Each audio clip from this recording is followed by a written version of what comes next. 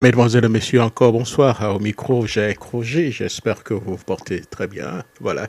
Alors, nous allons donc aborder un sujet euh, qui me tient à cœur. Croyez-moi, c'est un sujet qui est apparemment un peu, euh, un peu ridicule. Hein, le sujet euh, que nous allons donc développer. débat, mais vous savez, à la veille donc des élections présidentielles, hein, tout ce qui n'est pas débat devient débat. On crée des conditions pour alimenter euh, la réflexion, alimenter la polémique et tout ça. Je n'arrive vraiment pas à comprendre. Hein. Je me pose la question.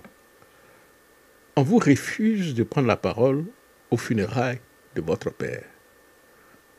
C'est la conclusion que nous pouvons tirer ici. On refuse à Tidiam Thiam de prendre la parole pendant les funérailles de son père, Henri Conavédier. Il est le président du PDCI, le nouveau président du PDCI. Et le président Bédi est décédé. On refuse qu'il prenne la parole.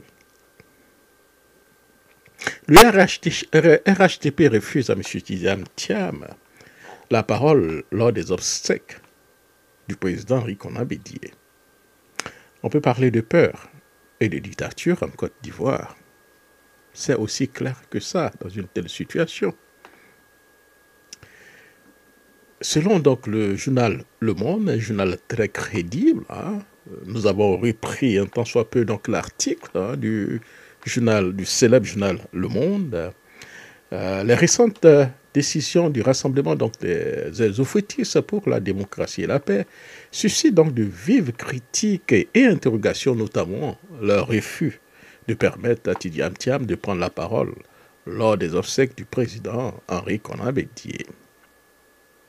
Cette exclusion soulève donc des questions sur la motivation et l'éthique du RHTP, pour ne pas dire le RDR devenir RHTP, ainsi que sur l'état de la démocratie en Côte d'Ivoire.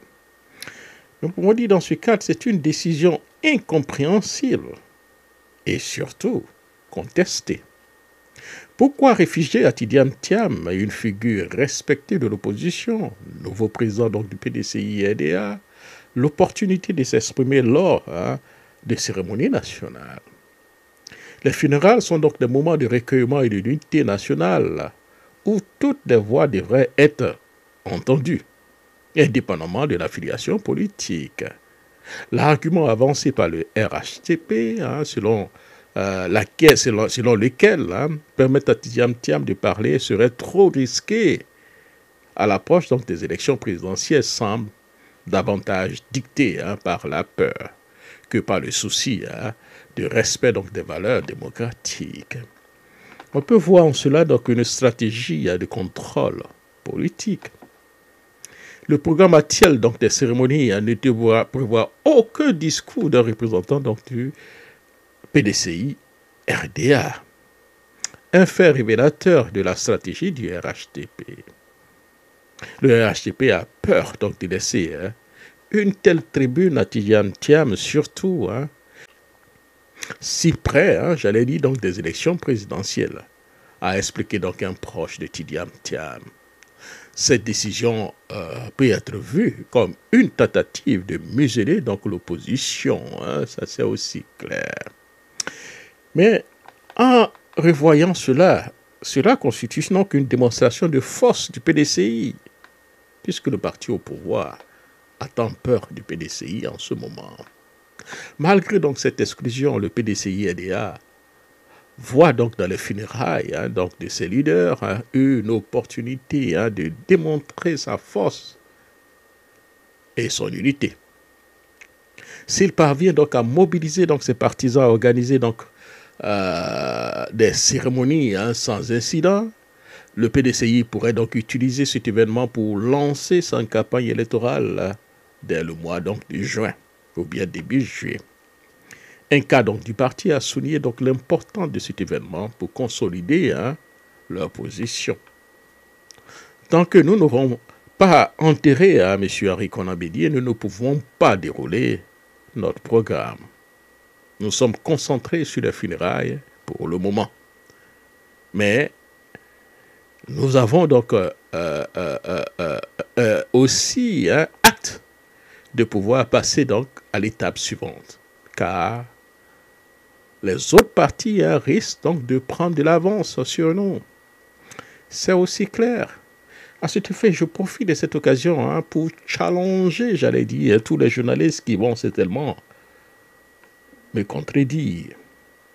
Le pouvoir en place a donné donc des instructions fermes afin que M. Tidiam Tiam ne puisse pas passer donc sur une chaîne publique à une forte audience.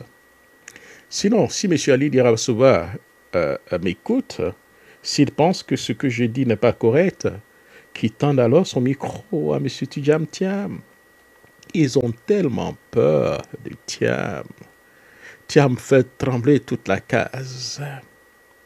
En conclusion, cher ami, le refus donc, du RHP donc, de permettre à Tidiam Tiam de s'exprimer lors des obsèques du président Icona Bédier est symptomatique donc d'une peur croissante de l'opposition.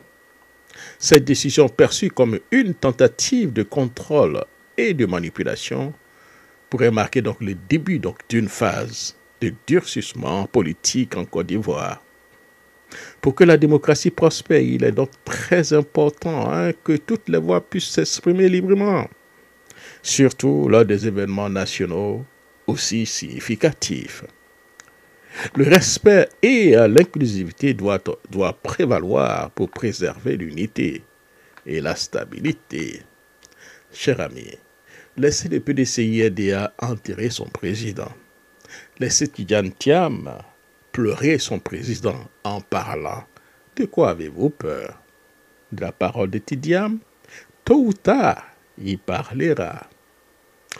Ainsi va donc euh, cette Côte d'Ivoire à la veille des élections de 2025, où je pense à partir du, mois de juillet de cette année, les choses risquent, commenceront à être beaucoup plus compliquées. Je lance aussi un appel à tous ceux qui sont partis, à ceux qui pour des raisons diverses sont allés ailleurs. Nous leur disons que les portes de leur maison sont ouvertes. Enfin, je m'adresse à ceux qui observent parfois la politique de loin et avec méfiance. À cela, je dis, rejoignez-nous. Nous allons montrer qu'il est possible de faire de la politique autrement. Je crois que nous en avons donné quelques exemples ces dernières semaines et nous allons continuer de le faire. Nous voulons convaincre par la force et la qualité de nos idées, pas par la violence ni par l'invective. On oublie souvent qu'il est plus facile de faire la guerre que de faire la paix. Et quand le dialogue n'a pas fait l'économie de la guerre, un jour il faudra bien mettre fin à cette guerre. il faudra recourir au dialogue, négociation au dialogue. Mais dans des conditions difficiles. Après des destructions de temps de vie humaine, de biens matériels, il y a une citadelle de méfiance qui s'installe, difficile à démolir. C'est pourquoi nous avons préféré, nous, le dialogue que nous considérons comme l'arme des forts. Merci beaucoup, cher ami. Hein, comme le dirait l'autre, hein, et comme le dirait Jacques Roger lui-même, tiens, mais sûrement. Au revoir.